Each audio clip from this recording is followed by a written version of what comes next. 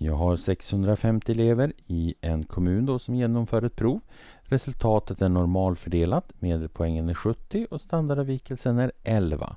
Och jag ska bestämma och tolka tionde percentilen. Och vad betyder det här då? Ja, om jag har ett normalfördelat material, vi kan ta och rita. Nu ritar, brukar jag rita lite dåligt här.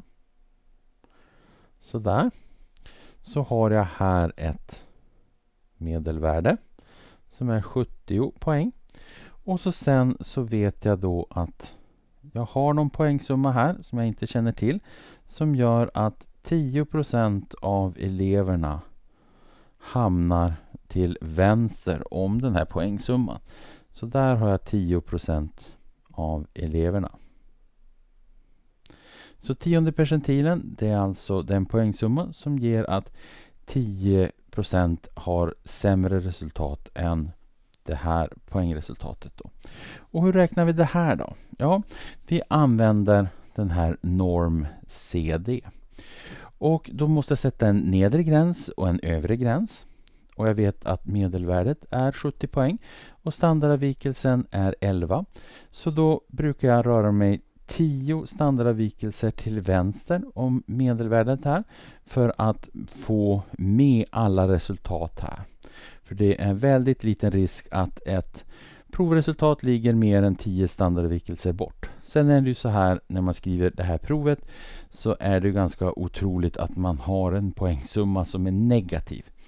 För om jag tar bort 10 standardavvikelser från 70 så ska jag ta 70 och så sen ska jag ta minus eh, 10 gånger 11 minus 110. Så har jag 70 och tar minus 110 så får du resultatet minus 40. Men jag tar ändå det. Jag skriver här minus 40. Det spelar inte så stor roll då om det är ett rimligt värde eller inte utifrån uppgiften utan jag brukar röra mig 10 standardvikelser ner. Den övre gränsen här, det är ju den här poängsumman som jag ska ta reda på. Den känner jag inte till. Så den säger jag är mitt ett x-värde. Det är mitt okända värde. Standardavvikelsen den är 11, så den skriver jag där som 11. Och medelpoängen den är 70. Och vad gör jag med det här? Jo, det här tar jag och sätter in i mitt graffönster. Och så låter jag eh, miniräknaren rita upp då den här funktionen då. Där jag låter det här x-värdet variera. Så det jag gör är att jag trycker på meny och så går jag till F5 sådär. Och så skriver jag in det här. Jag skriver då norm. Får vi ta options och så sen så ska vi gå till stat F3 distribution. Så sen är det norm och det är norm CD jag ska skriva där. Så skriver jag minus 40 komma och så sen x då komma standardavvikelsen 11,70. Och så sen ska jag rita det här i något område. Och då trycker jag Shift vid Window. Och det minsta x-värdet det sätter jag som 0. Och det största x-värdet det sätter jag som 70. Därför det jag vet det är att hälften av alla elever i ett normalfördelat material ligger till vänster om medelpoängen och 50 procent av alla elever i ett normalfördelat material ligger till höger om medelpoängen. Om jag nu vill ta reda på var 10 procent av eleverna är så behöver jag inte räkna mer än det här. För det här kommer att ta tid på miniräknaren. Så, och så sen y min här jag får här det är att jag får ett resultat här då som är ett decimaltal som är någonstans mellan 0 och 1 som talar om hur stor andel av eleverna då som befinner sig till vänster om något visst x-värde. Så det här är mitt x-värde. Så det jag behöver göra det är att ta eh, minsta y-värdet.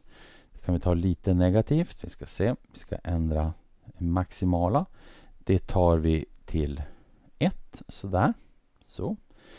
Sen så måste jag lägga in eh, var någonstans jag vill eh, att det här x-värdet ska vara och det är, vid 0, det är med 10% av eleverna, alltså 0,1. Sådär.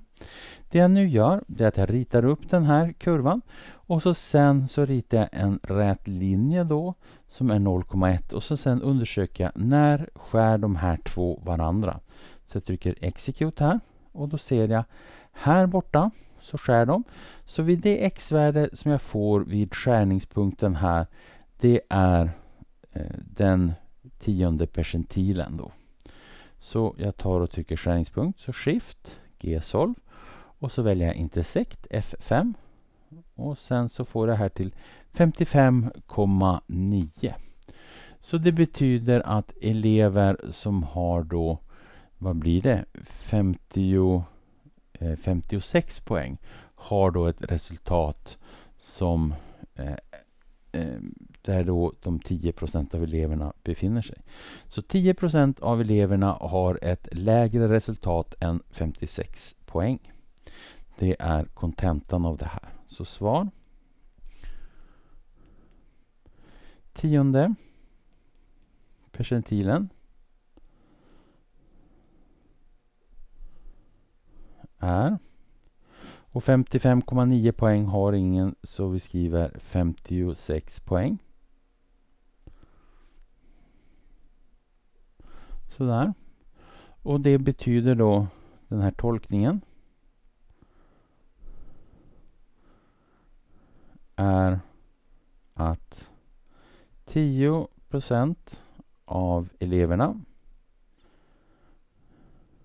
har ett lägre resultat